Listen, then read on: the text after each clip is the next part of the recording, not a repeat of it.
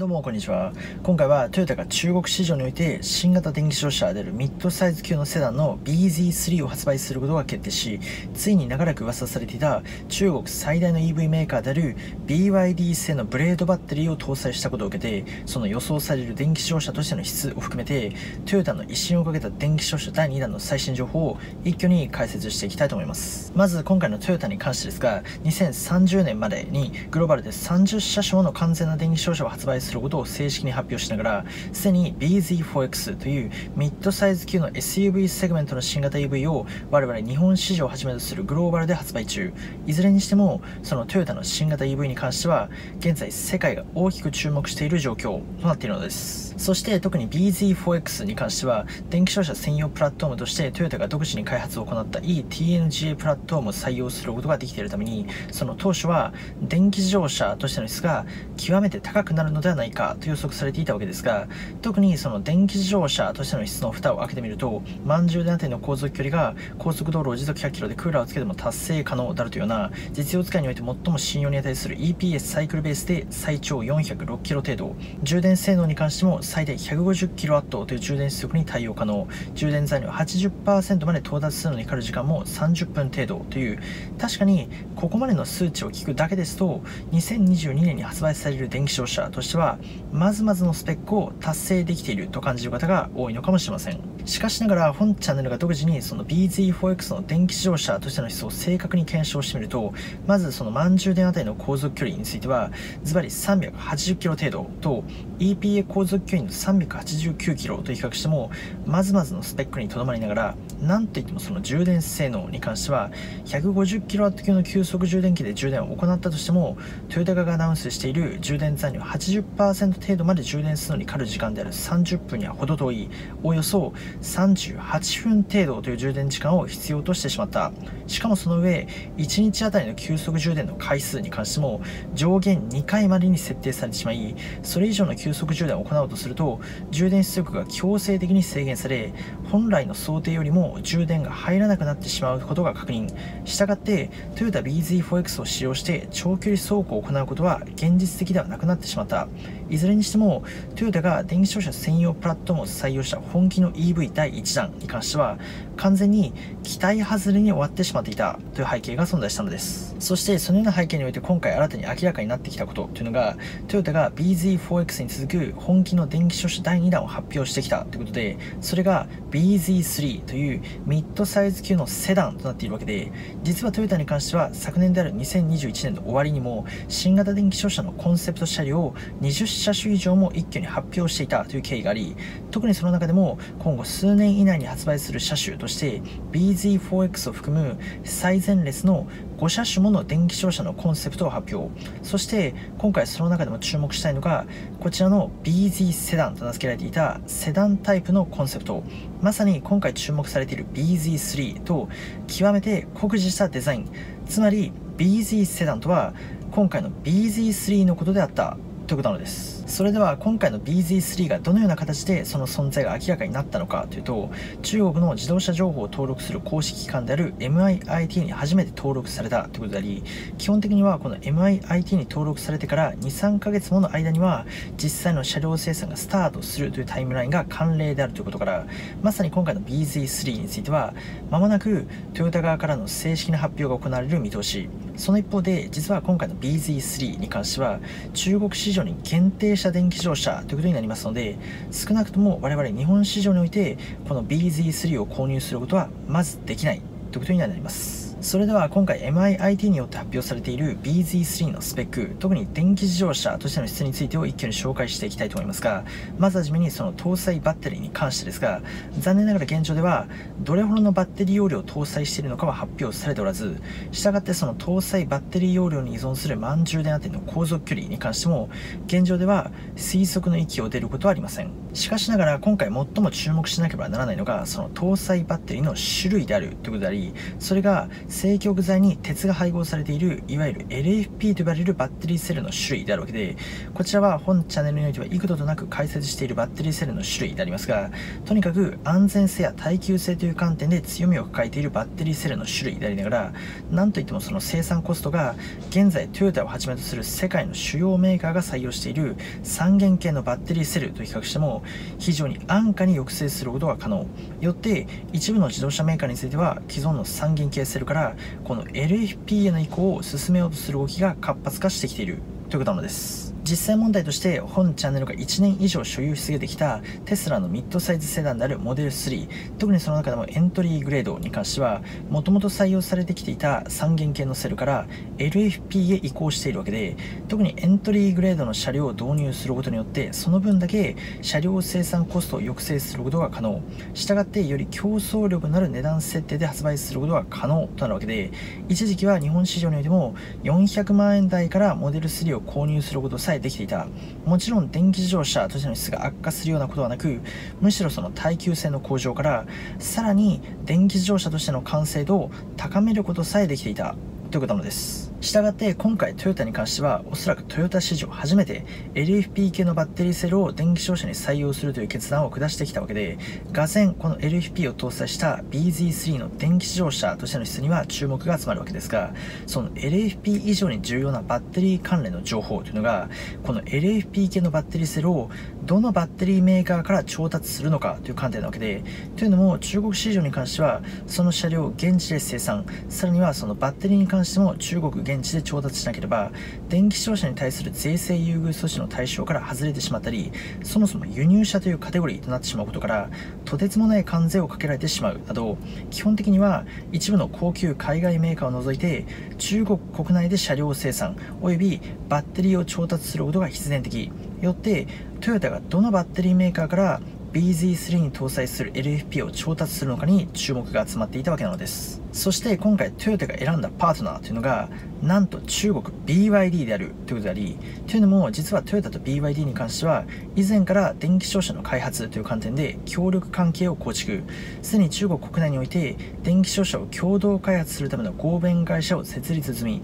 実際にトヨタのバッテリー EV 戦略の発表会においてもグローバルで発売する電気自動車に関しては日本のパナソニックとのパートナーシップの他にもすでに中国市場向けの BZ4X には搭載されている中国 CATL ともパートナーシッププを締結。そして今回の BYD に関してもその BYD の完全子会社あたり主に BYD 以下に対してバッテリーやモーターなどを外販するフィンドリームスとタッグを組むことを発表していた。ということなのです。また今回 BZ3 に搭載されるのはその BYD が独自内製している LFP 系バッテリーセルであるブレードバッテリーであるわけでこちらも再三にわたって解説している通り世界で生産されている LFP セルの中でも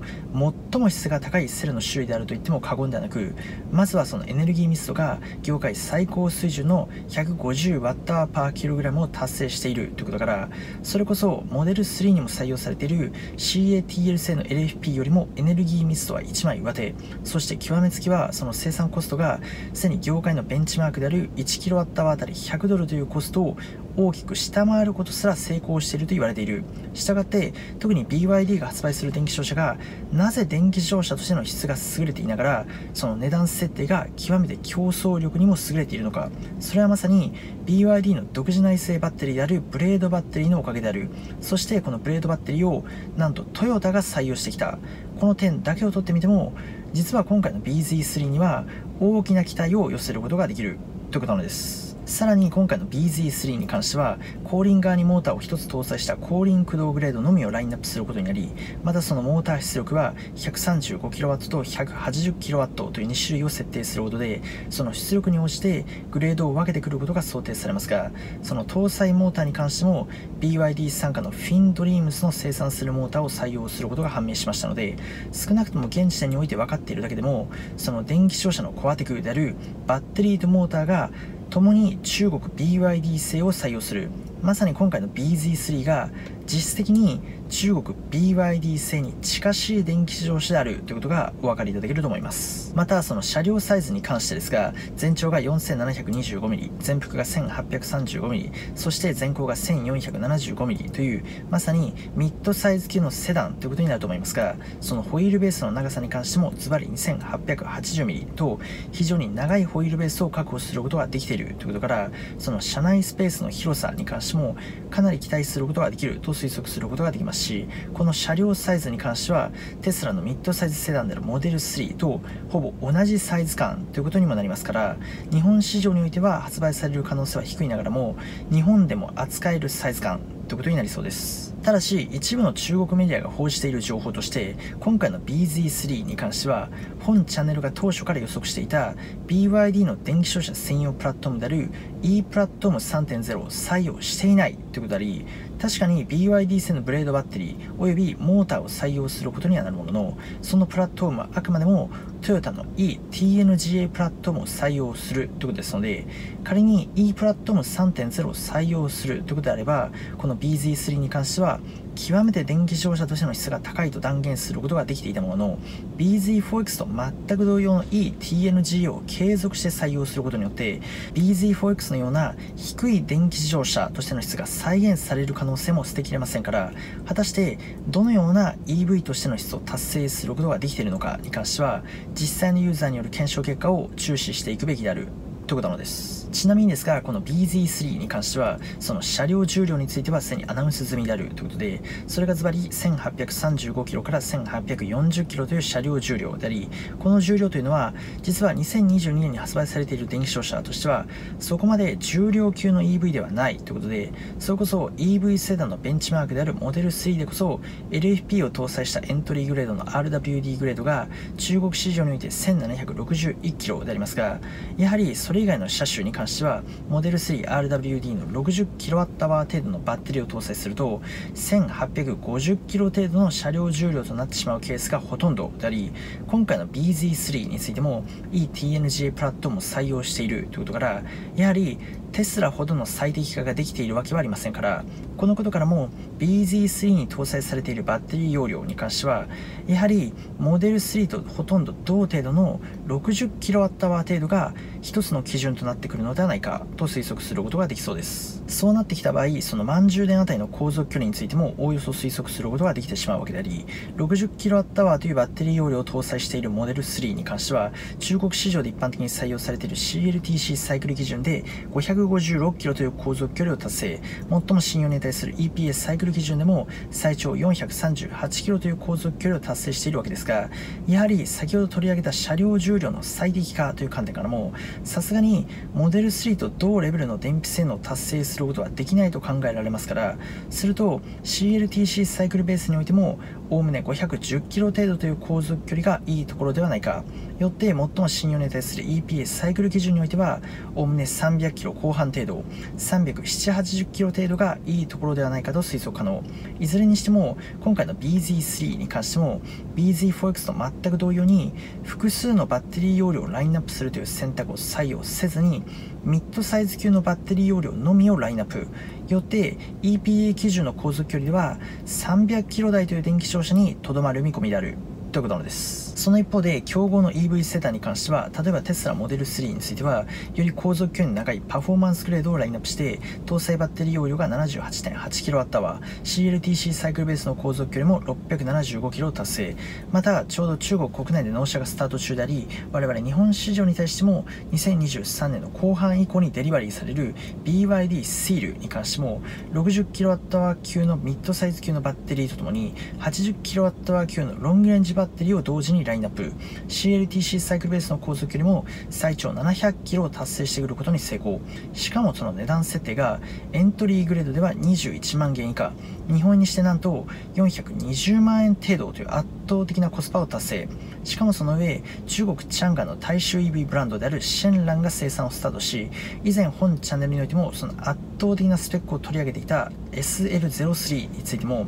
58.1kWh と 79.9kWh という全く同様に2つのバッテリーサイズをラインナップしてエントリーグレードに至っては BYD セールよりもさらに安価なズバリ360万円程度からのスタートとこのようにして中国で2023年にかけて爆売れ必至である EV セダンに関してはどれも例外なく異なるバッテリーの種類をラインナップすることでユーザーの期待に沿うグレードをラインナップしてきているわけですからなぜトヨタ側はこれらの定石を採用せずにミッドサイズ級のバッテリーのみをラインナップしてきたのか一部のユーザーの需要は満たせてもより長い航続距離をラインナップする競合の EV セダンにその魅力で劣ってしまうのではないか。つまりこの EV セダンセンスを勝ち抜くためには例えばシェンラン SL03 をさらに下回るより安価な値段設定を提示することができなければとてもではないですがこれらの EV セダンには対抗することはできなそうである。ということですね。このようにして今回ついにその存在が公式に確認された BZ4X に続くトヨタの本気の EV 第2弾である BZ3 について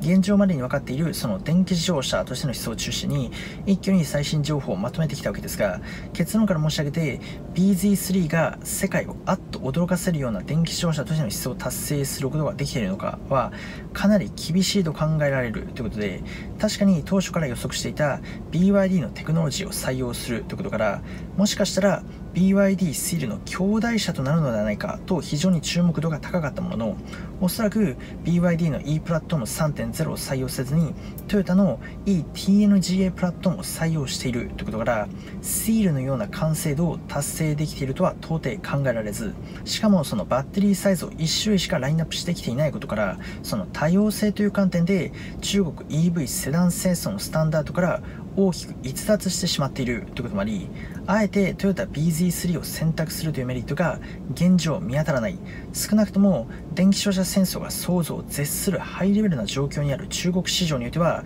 BZ3 の販売台数が大きく伸びるとは考えられないということなのです。いずれにしても現状においてはこの BZ3 は中国市場限定の車両になるということ。および11月頃に開催されるグアンジョーオートショー内においてトヨタが正式に発表。そして2022年末までに正式に発売される見込みであるということから本チャンネルが推測した航続距離や電気性能が正しかったのか。さらには気になる値段設定が競合の EV セダンと比較してどれほど達成することができているのか。そして2023年以降の本格納車にかけてどれほどの販売台数を達成することができるのかすでに月間数万台の販売台数が見込まれている BYD シールなどと比較してどれほどの販売台数を達成できるのかはまさに今回の BZ3 とシールと明確に分けるトヨタの eTNGA プラットフォームと BYD の E プラットフォーム3.0の質が試される試金石でもありますからそのトヨタと BYD の頂上決戦の行方にも